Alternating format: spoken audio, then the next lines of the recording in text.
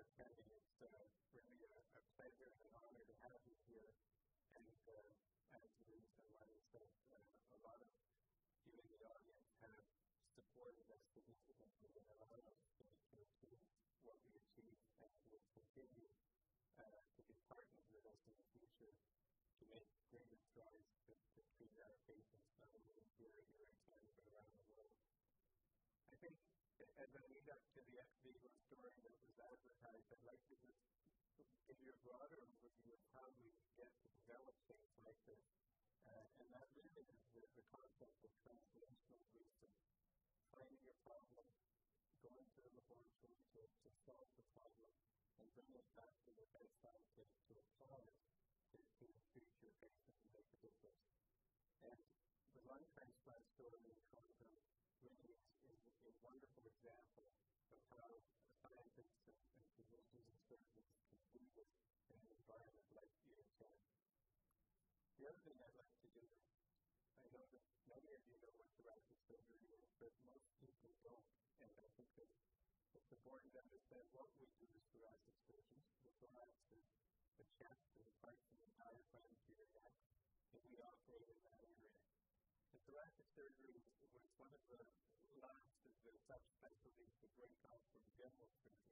In everybody was a surgeon and you operated. And then you've got orthopedic surgeons that do bones, and you have neurosurgeons for brain surgery, and then you've got heart surgeons that do heart.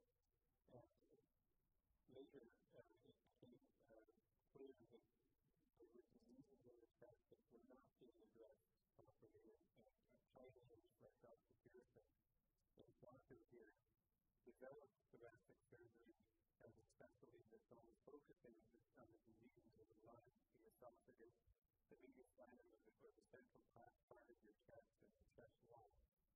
And in the United States, thoracic surgery includes heart surgery in, in many places. In some places, it's separate.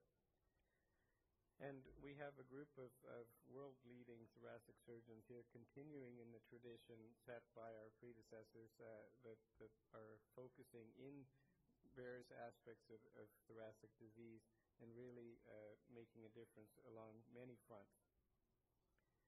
And the surgery we do includes lung uh, cancer surgery, surgery for emphysema, surgery of the esophagus for esophageal cancer, for heartburn or gastroesophageal reflux, uh, and for lung failure uh, to treat lung diseases, uh, primarily uh, lung transplantation when, when the lungs fail completely. But really, the future is going to be can we repair lungs with regenerative strategies uh, and also develop artificial lungs or bioartificial lungs to treat patients with lung failure.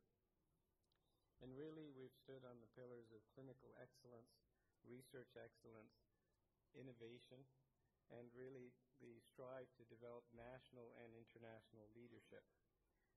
The environment that we have here, as you can tell by this wonderful research tower and the research laboratories, really is uh, importantly driven by clinical and research programs funded by the Institutes of Health Research, the Canadian Cystic Fibrosis Foundation, the Heart and Stroke, and other societies. And then also uh, a machinery of clinical trials where we can study in our patients the effect of the new innovations that we develop and partner with, with our, our, our partners and interested colleagues in industry to develop new technologies and new drugs so that we can move things forward. And most importantly is the philanthropic support. This has been increasingly important to us. Uh, funding from the government and from the Institute of Health Research and so on really, on average, provides 60 cents to the dollar.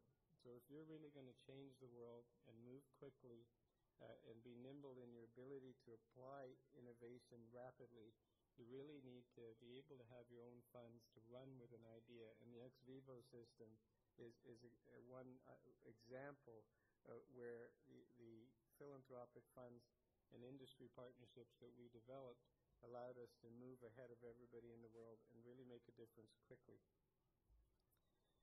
So I'd like to tell you about the Toronto story of lung transplantation, give you a little bit of a history of lung transplantation here and, and in the world, and how this il- illustrates the bench to bedside and back uh, story of translational research. So what, what I'd like to do is uh, talk to you about the um, history of lung transplantation and uh, the bench to bedside research program and how uh, research improves clinical outcomes and then go on to new frontiers in lung replacement therapy. So um, the first report of a technique of lung transplantation in a dog uh, was reported by Metras in 1950 in France. And it wasn't until 1963 uh, until James Hardy uh, tried to uh, perform a lung transplant in a patient in Jackson, Mississippi. That was not successful, but it was the first attempt at trying to do this in. And from 1963 to 1983, 40 more attempts were made worldwide to try and transplant the human lungs clinically, and all of them were unsuccessful. In 1983, Joel Cooper uh, performed the first uh, single lung transplant in this patient, Tom Hall, uh, here at Toronto General Hospital.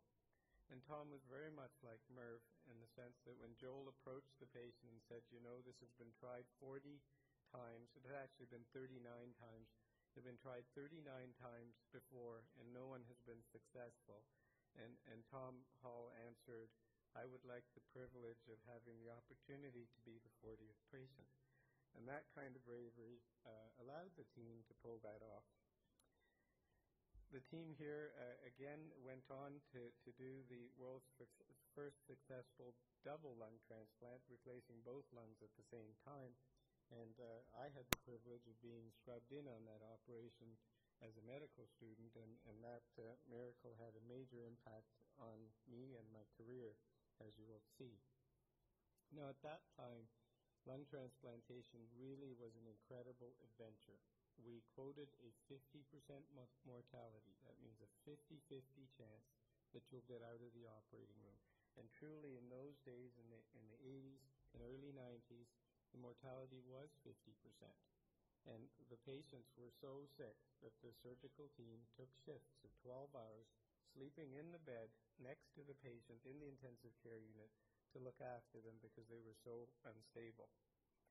And we got through that period over time, and at that time, slowly increased the number of transplants we do per year, uh, trying to um, save patients with end stage lung disease.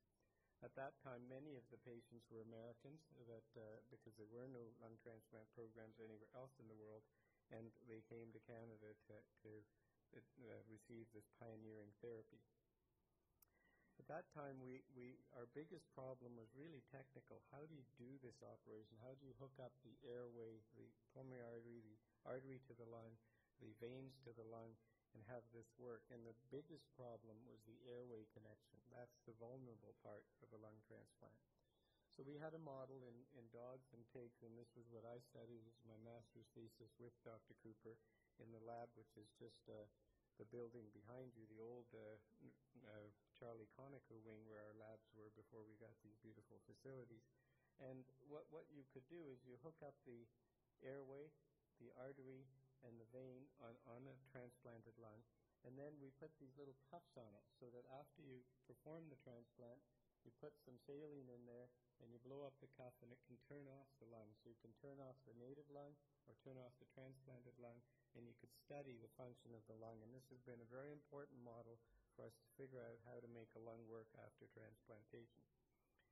And the important thing at that time was, was really to make the lung work after you put it in, because after you do a lung transplant, the lung has to work. If it doesn't work, your patient will die. There isn't dialysis to keep you going, and so on. So we had to figure out a way to make lungs work. And one of the first uh, pieces of work we did was develop the LPD solution. And if you just focus on this graph here, this was the current standard of, of solution, Euro-Collins, that had been used for kidneys. And this shows the function of the lungs when you first put it in, which is quite bad, a, a, a very low level of oxygen on 100%, but it usually recovers by three days.